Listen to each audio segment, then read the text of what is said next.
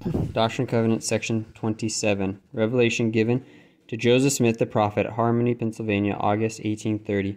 in preparation for a religious service at which the sacrament of bread and wine was to be administered. Joseph set out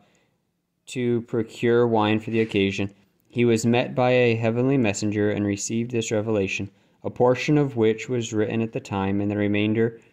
in the September following. Water is now used instead of wine in the sacramental services of the Church. Listen to the voice of Jesus Christ, your Lord, your God, and your Redeemer, whose word is quick and powerful. For behold, I say unto you, that it mattereth not what ye shall eat or what ye shall drink, when ye partake of the sacrament, if it so be that ye do it with an eye single to my glory, remembering unto the Father my body, which was laid down for you, and my blood which was shed for the remission of your sins. Wherefore, a commandment I give unto you, that you shall not purchase wine, neither strong drink of your enemies. Wherefore, you shall partake of none except it is made new among you, yea, in this my Father's kingdom, which shall be built up on the earth. Behold, this is wisdom in me, wherefore marvel not, for the hour cometh that I will drink of the fruit of the vine with you on the earth, and with Moroni, whom I have sent unto you to reveal the book of Mormon, containing the fullness of my everlasting gospel, to whom I have committed the keys of the record eh, of the stick of Ephraim, and also with Elias, to whom I have committed the keys of bringing to pass the restoration of all things spoken by the mouth of all the holy prophets since the world began concerning the last days, and also John the son of Zacharias, which Zacharias he Elijah visited and gave promise that he should have a son, and his name should be John, and he should be filled with the spirit of Elias, which John I have sent unto you, my servant Joseph Smith,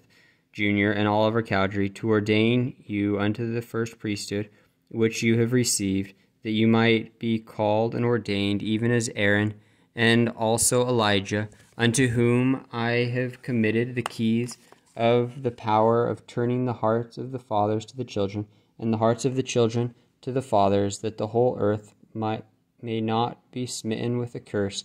and also which John and Jacob and Isaac and Abraham, your fathers, to by whom the promise remains, and also with Michael or Adam, the father of all, the prince of all, the ancient of days, and also with Peter and James and John, whom I have sent unto you, by whom I have ordained you and confirmed you to be apostles and special witnesses of my name, and bear the keys of your ministry, and of the same things which I revealed unto them unto whom I have committed the keys of my kingdom, and a dispensation of the gospel for the last times, and for the fullness of times, in which I will gather together in one all things, both which are in heaven and which are on earth, and also with all those whom my Father hath given me out of the world. Wherefore, lift up your hearts and rejoice, and gird on your loins and take upon you my whole armor, that ye may be able to withstand the evil day, having done all, that ye may be able to stand.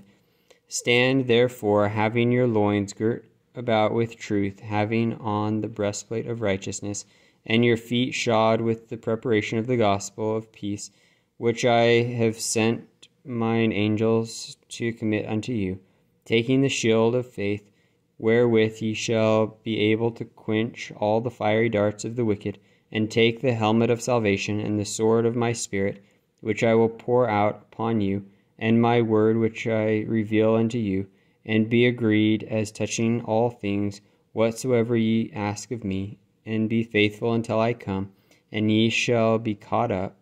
that where I am ye shall be also. Amen.